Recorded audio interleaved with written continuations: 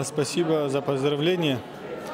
Э, Я думаю, что мой стиль борьбы, он не только чемиза, но для всех моих соперников он неудобный, потому что атакующий стиль, постоянный натиск, и из-за этого они, многие не выдерживают этот натиск. И вот из-за этого, я думаю, что и неудобно ему. Э, Был ли я удивлен? Нет, я ожидал такую тактику с его стороны.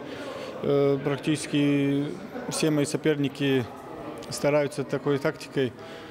И как бы навязывал свою борьбу, свой стиль, и нет, не особо был удивлен. Да, этот турнир очень важный был для меня. Я э, сильно хотел выиграть здесь, потому что два месяца назад на ранкинг серии я был в Загребе и проиграл две схватки. А Многие критиковали меня за то, что я участвовал. Э, Кто-то говорил неподготовленный. Ну, была небольшая травма, но э, я свято верю своему тренеру, слушаю его, и по этой тактике мы пошли. И как он всегда говорит, чтобы победить, нужно проиграть. Так получилось, и вот э, на этом чемпионате Европы я опять стал чемпионом.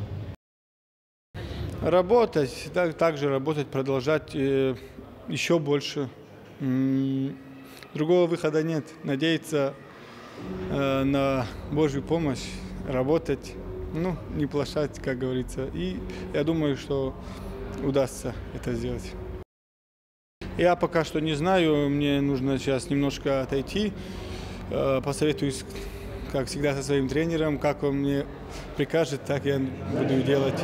Ну, посмотрим. Я думаю, что можно еще будет один турнир бороться, и после этого уже на чемпионате мира.